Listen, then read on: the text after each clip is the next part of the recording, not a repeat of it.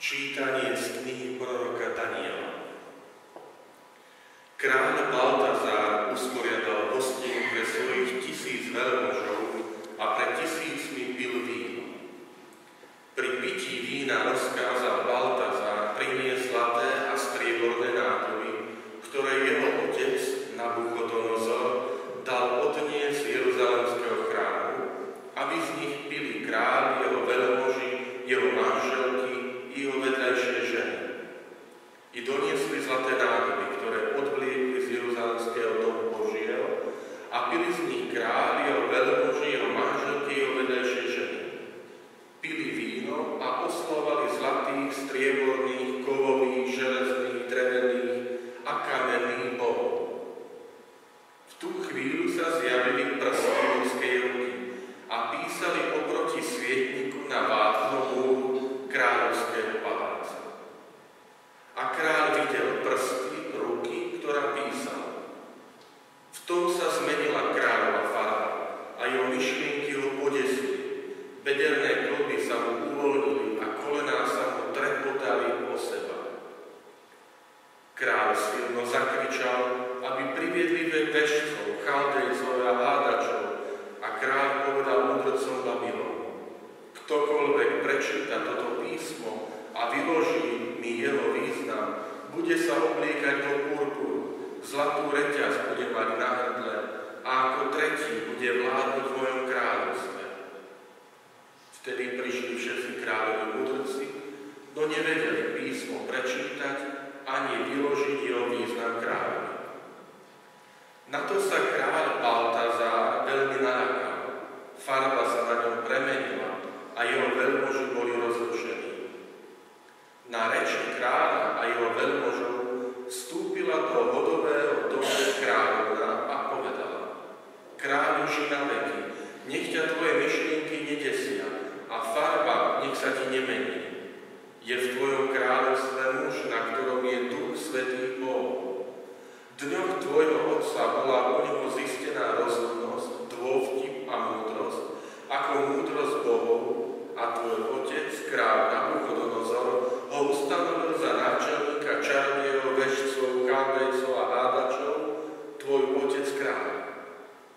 Pretože u Daniela, ktorému kráľ dal meno Baltazar, sa zistil vyšší duch, vedomosť, rozhodnosť, vykladanie snov, rozlušťovanie záhad a riešenie ťažkosti.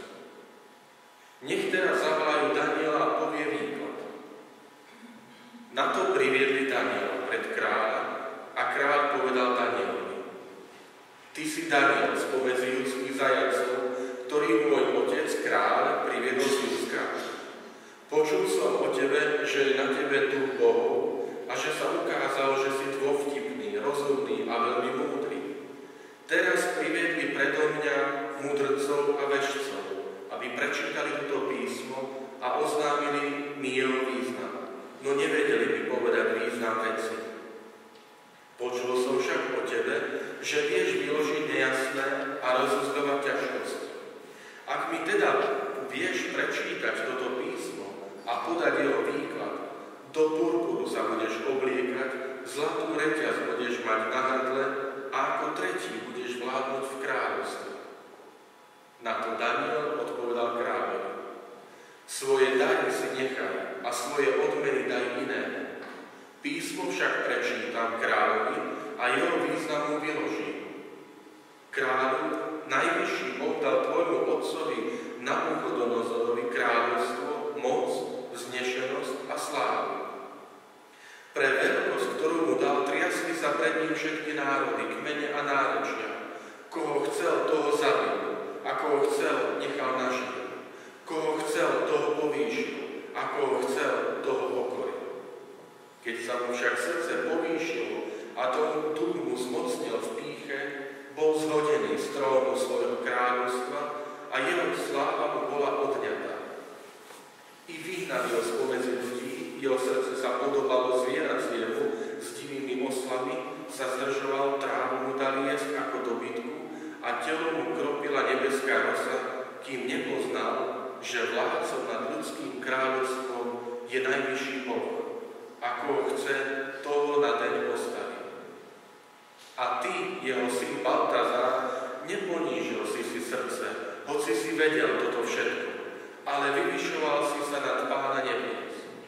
Doniesli pred teba nádoby jeho domu a ty, tvoji veľmoži, tvoje manželky a tvoje vedlejšie ženy, pili ste z nich víno. Vychvaloval si strieborných, zlatých, kovových, železných, drevených a kamenných bohov, ktorí nevidia, nepočujú a nechápu, ale Boha, v ktorého ruke je tvoj a všetky tvoje cesty, si neoslavoval. Preto on poslal tieto prsty a napísal toto písmo. Toto je teda písmo, ktoré je napísané. Mene tekel ufaxi. A toto je význam slov. Mene, Boh spočítal tvoje kráľovstvo a urobil mu koniec. Tekel, odvážili ťa na válne a našli ťa priľahkým. Perez, rozdelené je tvoje kráľovstvo a odovzdané Médom a Peržanom. Vtedy Baltazár rozkázal a Daniela obliekli do purpuru. Na hrdlo mu dali zlatú reťaz a vyhlásili o ňom, že má ako tretí vládnu v kráľovstve. V tú noc babylonského kráľa Baltazára zabili. Kráľovstvo však dostal Dárius Médsky vo veku 62 rokov. Počuli sme Božie slovo. Pozývam vás teda spoločne dnešné popoludnie pozrieť sa najskôr na knihu proroka Daniela a potom priamo na úryvok, ktorý sme si pred chvíľkou vypočuli. Pokiaľ ide o samotnú knihu proroka Daniela, tak pre ňu platí, že nevieme, kto je jej autorom. Autor je neznámy a názov knihy je uvedený podľa hlavnej postavy tejto knihy, ktorým je Daniel, ako sme to počuli aj v dnešnom úrivu. Pokiaľ ide o miesto tejto knihy v Svetom písme, tak v katolíckom zozname, v katolíckom vydaní Svetého písma Starého a Nového zákona táto kniha sa zaradzuje medzi prorocké knihy. Dokonca kniha proroka Daniela patrí medzi štyri knihy veľkých prorokov spolu s Izaiášom, Jeremiášom a Ezechielom. V židovskom zozname Svetého písma, to znamená hebrejská Biblia je to, čo my nazývame Starý zákon, Židovský zoznam delí iným spôsobom Sveté písmo, než je to v našom katolickom vydaní. Prvú časť, najdôležitejšiu časť, tvorí Tóra. Tóra je 5 kníh Mojžiša. Genesis, Exodus, Leviticus, Numery a Deuteronomium. Týchto 5 kníh sa jedným slovom nazýva Tóra, alebo niekedy sme naučení nazývať 5 kníh Mojžiša. Druhú veľkú časť tvoria proroci. Je tam trošku rozdiel, lebo medzi prorocké sa zarazujú aj také knihy, ako je kniha Jozue, Sudcov, prvá druhá kniha Samuelova, prvá druhá kniha Kráľov, potom veľkí proroci, ktorých poznáme aj my, a malí proroci. A potom tretiu časť tvoria tzv. spisy.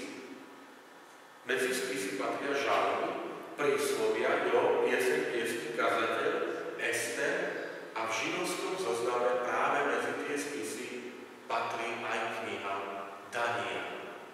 Teda to jednoduché rozlíšenie je v tom, že my, keď čítame z knihy, tak hovoríme čítanie z knihy proroka Daniela, lebo ju zarazujeme medzi prorocké spisy. Ale v židovskom zozname kníh Svetého písma sa jednoducho nazýva iba kniha Daniela.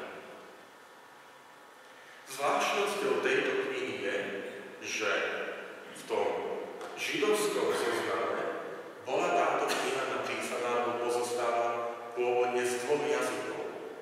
Hebrejského jazyka, ale potom ešte aj časť je napísaná v aramejskom jazyku, čo je vlastne akýmsi dialektom alebo hovorovým jazykom, ktorý sa používal v Palestíne zhruba od 3. storočia pred Kristom aj v čase potom samotného Ježiša Krista. Bola aramejčina hovorovým jazykom, ale pán Ježiš hovoril týmto jazykom, aramejským. Zvláštnosťou je, že v tom katolíckom zozname kniha proroka Daniela má ešte dve kapitoly navyše, ktoré sú zachované v grečtine. Takže vlastne kniha proroka Daniela, ako máme v Svetom písme, sa skladá z troch jazykov. Hebrejský, aramejský a grécky. Pokiaľ ide o dej tejto knihy, dej je veľmi jednoduchý. Daniel spolu so svojimi spolurodákmi je odvlečený do babylonského zajatia z izraelskej krajiny koncom 6. storočia pred Kristom. Spolu s troma svojimi priateľmi, Ananiášom a Azariášom, alebo sú nazývaní Ananiáš, Azariáš a Misael, sa pre svoju múdrosť dostávajú na kráľovský dvor. Mladíci, ktorí sú obklopení luxusom, slávou, všetkým tým, čo ponúka kráľovský dvor, sa však pridržiavajú naďalej svojej židovskej viery. A práve kvôli tomu, kvôli vernosti židovskej viere, sa dostávajú do rôznych kritických situácií a skúšok pre svoju vieru. Osobitnou postavou je postava Daniela, ktorý okrem múdrosti a vzdelania má ešte osobitný dar a to je dar porozumieť videnia a snov. Keď sa teda pozrieme potom na rozdelenie knihy, tak tam práve tento Danielov dar je veľmi zdôraznený. Kniha má tri časti. V prvej časti sú opísané Danielové zážitky na kráľovskom dvore. Tieto zážitky patria medzi tie, ktoré si veľmi dobre pamätáme. Sú to príbehy, ktoré sa často odovzdávajú a spomínajú. Napríklad je to príbeh troch mládencov, ktorí sú hodení do ohnivej pece a predsa sa im nič nestane. Alebo Daniel v jame s levmi, lebo je obvinený z toho, že zachováva svoju židovskú vieru, že sa modlí k Bohu Izraela v prostredí babylonskom iných bohov a preto je potrestaný tým, že je hodený do jamy z levy, ale Boh zavrie, ako hovorí svetopisec, papule levou a na Danielovi sa nič nestane. Z tejto prvej časti zaznel aj úryvok, ktorému sa budeme venovať, a to je Baltazárova hostina a tajomný nápis na stene, ktorý rozruší kráľa, ako aj všetkých, ktorí sú prítomní na hostine. Druhá časť knihy opisuje Danielové videnie. Daniel hovorí alebo vykladá sny, videnia, ktoré má. Sú to alebo je to videnie štyroch šelie, ktoré vystupujú z mora a potom predpoveď 70 týždňov. Napokon posledná časť sú ešte dva ďalšie príbehy. Jeden opäť veľmi známy, príbeh Zuzany, nevinnej, ale nespravodlivé obvinenej starcami. A ten príbeh, a ten príklad, potom Daniel vystupuje ako ten, ktorý rozrieši alebo poukáže na to, že starci falošne obvinili túto nevinnú dievčinu. A druhý príbeh z tejto poslednej časti je príbeh Daniela a Draka. Pokiaľ ide o dobu vzniku a celú takú kompozíciu tejto knihy, tak má takú zvláštnosť. Totiž kniha opisuje jednotlivé kráľovstva. Kniha opisuje najskôr dejiny babylonskej ríše.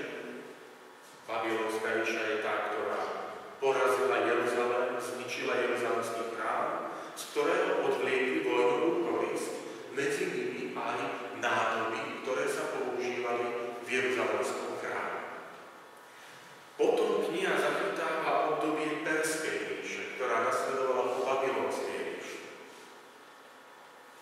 Perská ríša počas jej existencie bol umožnený návrat Židov naspäť do domoviny, aby si mohli znova postaviť Jeruzalemský chrám, ktorý bol posvetený v roku 515 pred Kristom a do tohto chrámu neskôr vstúpil aj Pán Ježiš. Po Perskej ríše nasleduje ríša Alexandra Veľkého a jeho nástupcov. Alexander Veľký Palestínu asi v roku 332 pred Kristom a zaviedol vplyv helenskej kultúry, helenského vzdelania, helenskej filozofie a gréckého jazyka. Po jeho smrti sa jeho kráľovstvo rozdelilo medzi jeho generálov, ktorí sa byli o jeho nástupcovi. A Palestína pripadla do rúk Seleukovci, Seleukovia. Títo však nevydržali príchod ďalšej mocnosti, a to je Rímska ríša. Rímska ríša, ktorú Rímania porazili týchto Seleukovcov v roku 190 od pred Kristom. Pred Kristom, to znamená naozaj sme už niekoľko let, dve storočia pred narodením Pána Ježiša. A práve do obdobia, keď táto oblasť patrí sa rodí a Ježiš Kristus stáva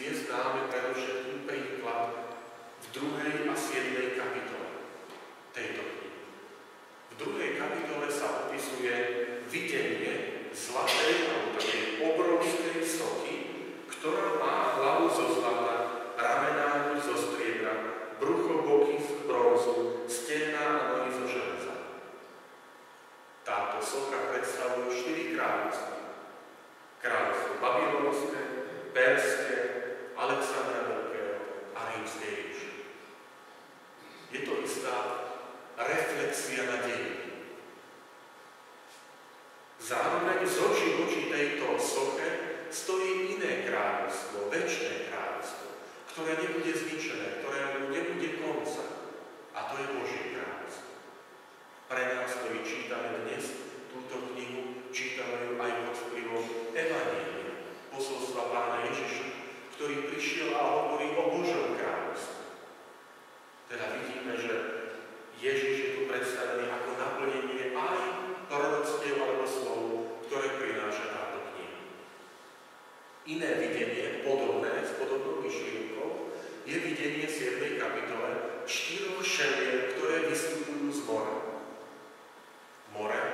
biblickom chápaní je sídlom zla, sídlom mocností, ktoré sa vstávajú proti Bohu.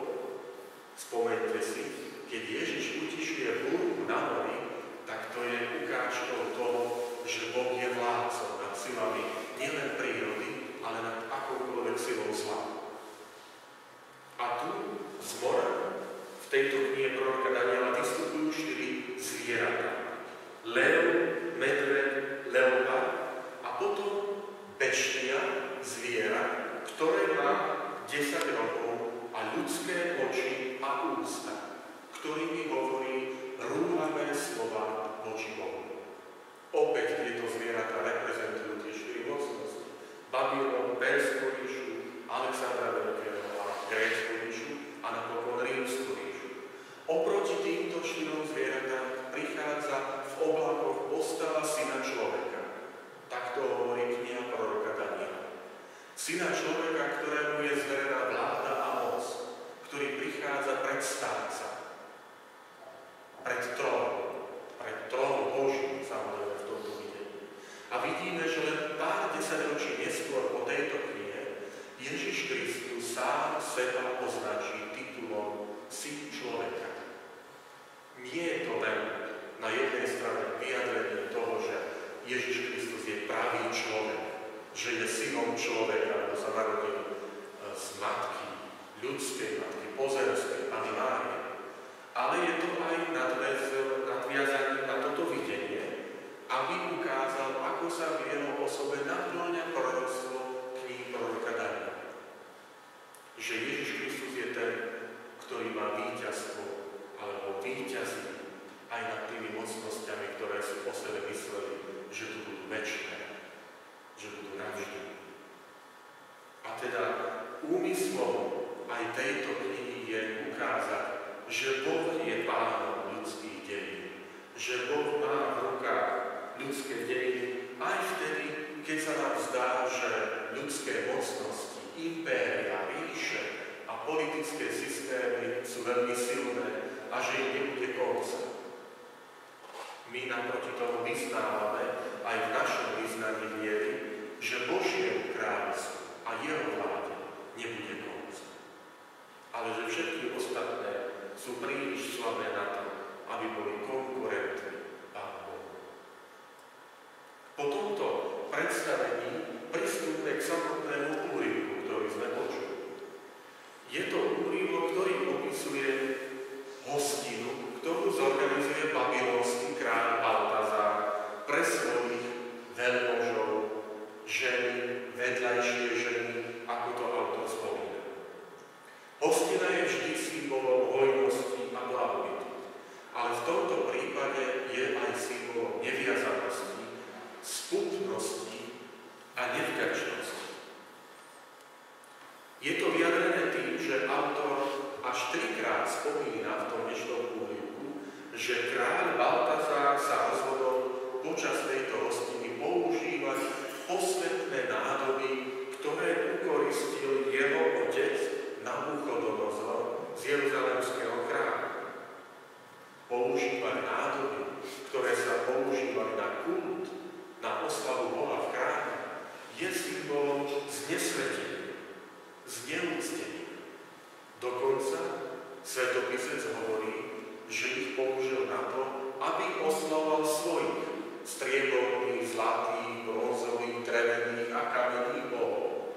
Je to istým spôsobom výsmech ktorý robí autor tejto knihy, aby ukázal, že títo pohania oslavujú nie skutočného pravého Boha, ale Božíkov, ktorých si sami vyrobili z kameňa, z dreva, zo zlata a z iných materiálov.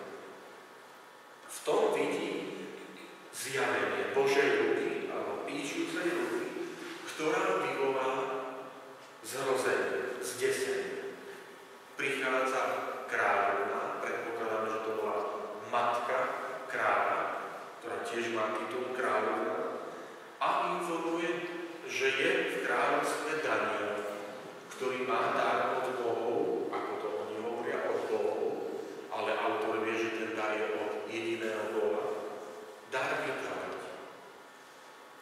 je to zaujímavá symbolika, lebo pred kráľa predstupuje člen židovského národa. Člen alebo žid, ktorý si zachoval svoju vieru. Neopustil svoju vieru ani v cudzom prostredí, ani na kráľovskom dvore. Dokonca patrí medzi pokorené národy, ktoré žijú v zajatí. Alebo on zostal v zajatí a napriek tomu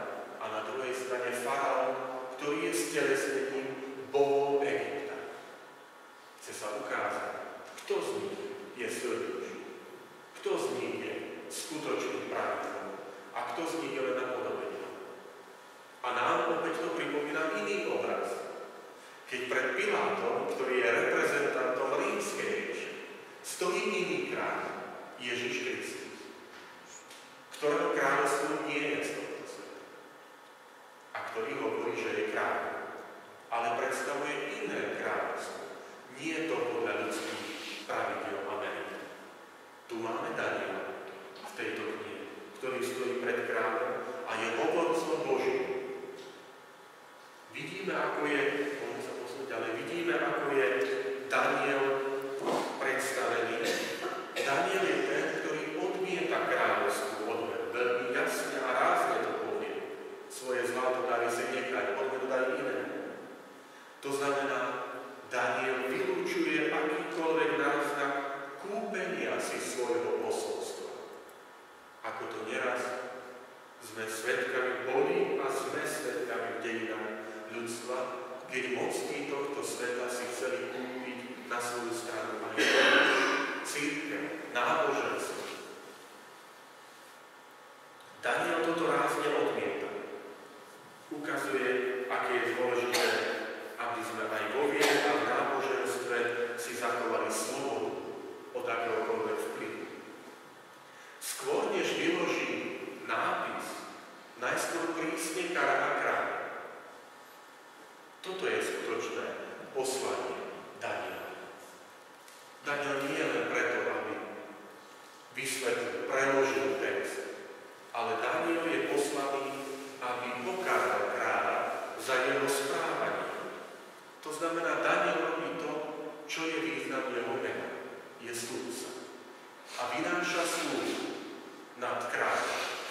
Súd, ktorý je už rozhodnutý. Súd, ktorý už vyniesol väčší súdca, ktorým je on.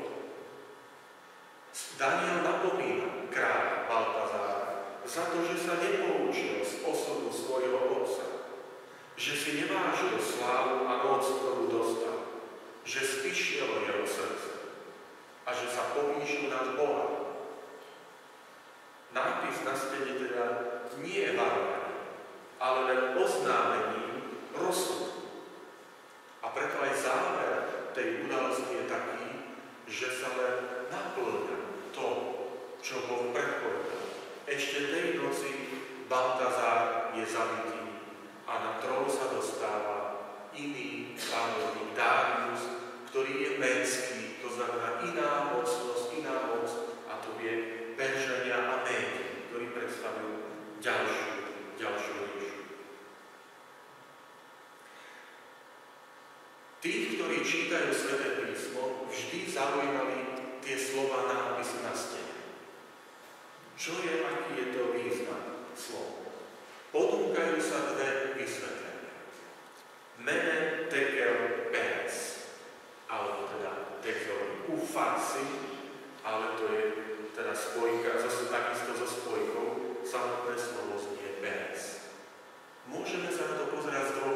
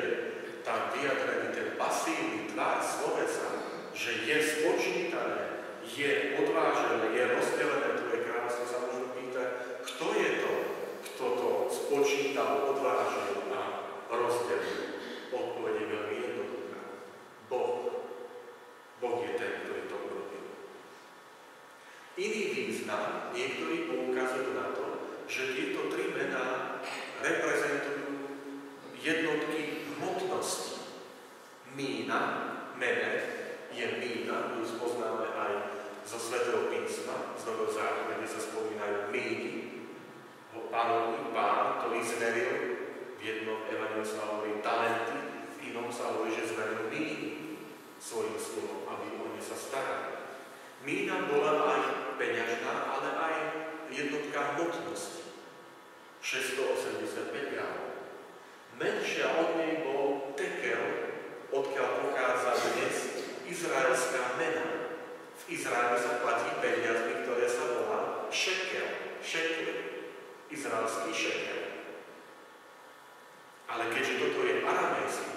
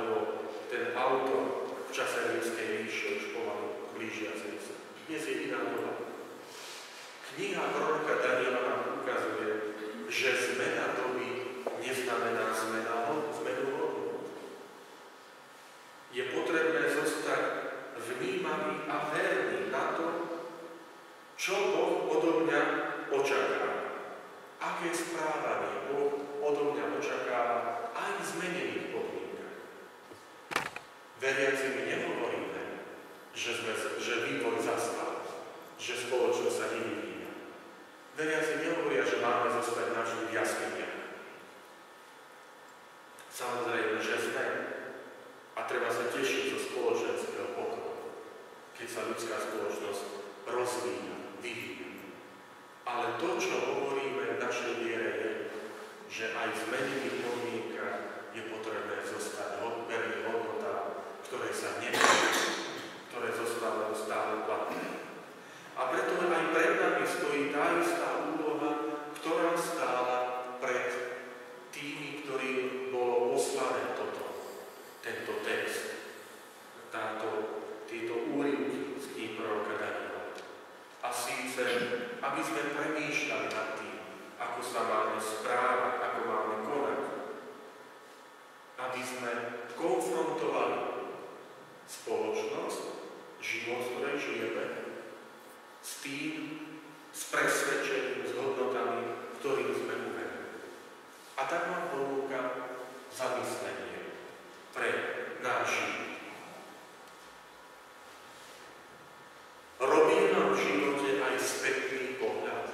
To znamená, vyvodzujem z toho také, takého spýtovania svedomia, poučenie pre moje ďalšie správanie nezabúda v živote až príliš rýchlo. Kniha proroka Daniela je pre nás výzvou pamätať. Prorok Daniel pozýva národ, aby sa pozrel na svoje dejiny a pýtal sa, kedy vás Boh opustil. A ako ste sa mali, keď vy ste opustili Boha. A k tejto úlohe sme pozvali aj my, aby sme sa aj my zamýšľali nad tým, ako sa môj život zmenil v, v tých situáciách, keď som sa rozhodol opustiť? Zmenil sa k lepšiemu? Bol som šťastnejší? Nie som svojimi slovami a postojmi sudcom iných. Lebo veľakrát my chceme byť daniami, že my budeme tí, ktorí budeme vynášať súd. A zabúdame na to, že meno Daniel znamená Boh je sudca, nie ja.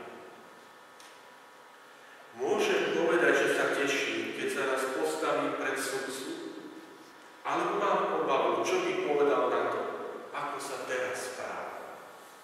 Čo by Boh povedal dnes večer na to, aký život žije a podľa akých hodnot sa správa. A čo by som povedal ja Bohu na to? Ako to vysvetlil? že nemám čas, že som nestíhal. Vážim si veci, talenty, ktoré som dostal, rozvíjam ich ako Boží dar, nespišnilo moje srdce. Nielen Daniel je zobrazený ako ten, ktorý dostal dar od